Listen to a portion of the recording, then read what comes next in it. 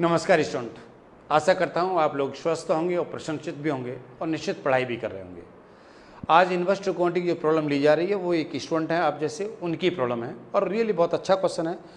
और आप भी समझने की कोशिश करोगे इस तरह क्वेश्चन कैसे कर सकते हैं। यदि आप इन्वेस्ट अकाउंटिंग की प्लेलिस्ट देखना चाहते हो तो नीचे डिस्क्रिप्शन में लिंक अवेलेबल है। उस लिंक पर जाकर आप इस चैप्टर की प्लेस देख सकते हो, दूसरे चैप्टर की प्लेस देख सकते हो। ठीक है? यदि आपकी भी कोई प्रॉब्लम है तो आप निश्चित व्हाट्सअप कर सकते हो। व्हाट्सअप नंबर दे रखे होते हैं। डिस्क्रिप्शन में व्हाट्सअप नंबर अवेलेबल होता है, वहाँ पर दे सकते हो। लेकिन इतना ज़रूर बता दूँ कि सारी प्रॉब्लम लेना प्रैक्टिकली पॉसिबल नहीं होता है। लेकिन जो प्रॉब्लम रियली अच्छी होती हैं, जो प्ले लिस्ट में नहीं होती हैं, ठीक है तो वो प्रॉब्लम ज़रूर सॉल्व की जाती है। ठीक है ना?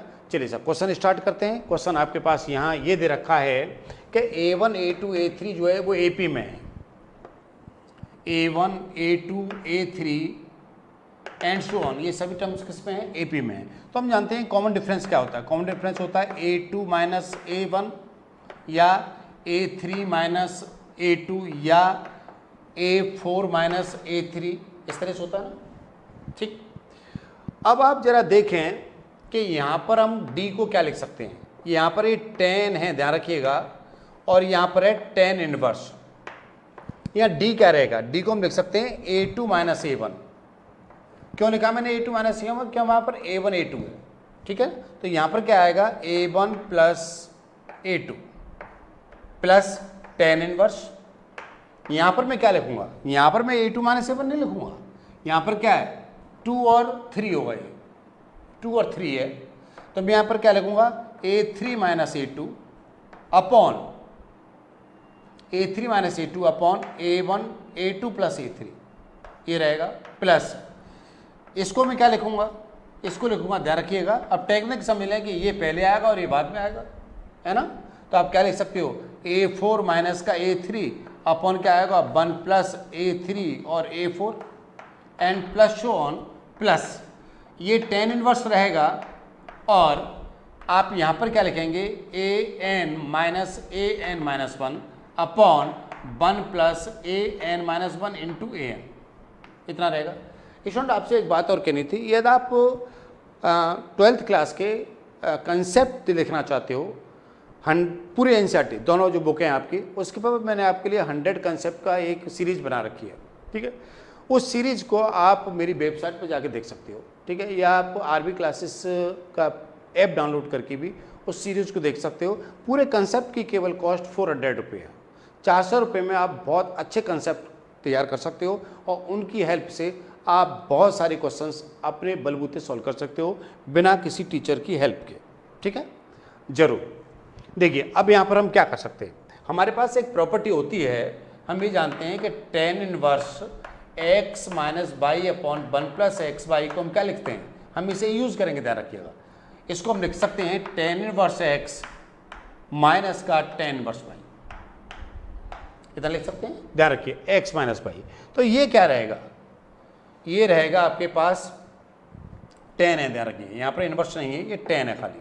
टेन यहाँ रहेगा tan inverse A two minus tan inverse A one ठीक है? ये रहेगा। प्लस यहाँ रहेगा tan inverse A three minus tan inverse A two यहाँ रहेगा tan inverse A four minus tan inverse A three and so on यहाँ रहेगा tan inverse A N minus tan inverse tan inverse A N minus one ठीक है जी? अब जरा ये देखें कि इनमें से कौन से टर्म्स कैंसिल हो सकते हैं। देखिए, इस A2 से ये ए टू कैंसिल होगा, यहाँ पर ये A1 बचेगा। ठीक है? क्योंकि ए वन आगे कहीं नहीं आएगा। इससे ये कैंसिल होगा, इससे ये कैंसिल होगा, लेकिन इससे ये कैंसिल हो जाएगा। ठीक है?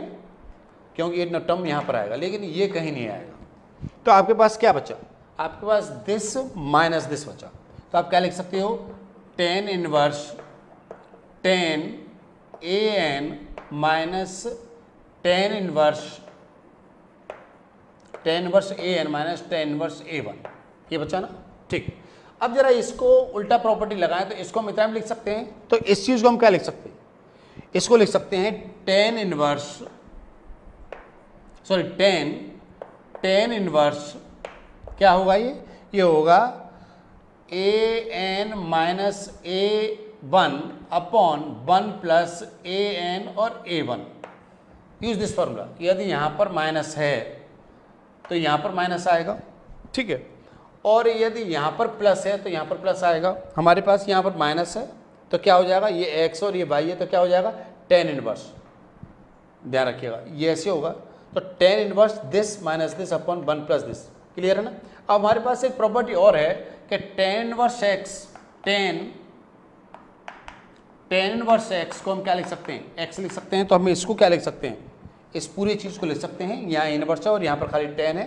तो ये चीज़ क्या हो जाएगी? ये चीज़ हो जाएगी A N minus A one upon one plus A N और ए वन ठीक है ना सर? तो इसका सिंपलेस्ट फॉर्म जो आएगा, वो A N minus A one upon one plus A N और ए वन आएगा। मैं समझता हूँ, बात समझ गए होंगे। इनवर्स ट्रिकोमेट्री में बहुत सारे क्वेश्चंस करा रखे हैं, ठीक है? और पूरा मैंने मैट्रिक्स के कंसेप्ट को भी आपको एक्सप्लेन कर रखा है। कैलकुलस के इस टॉपिक को हम बहुत जल्दी स्टार्ट करने जा रहे हैं। यदि आपकी कोई प्रॉब्लम है तो ज़रूर हमें बताएँ। और प्लेलिस्ट पर जाकर आप पुरानी वीडियो देख सकते हो पुरानी वीडियो देखकर बहुत कुछ अपने बलबूते पर आप काम करने की कोशिश कर सकते हो। ज़रूर करने की कोशिश करें, आप अपना ख्याल रखें और खुश रहें। Thank you very much thank you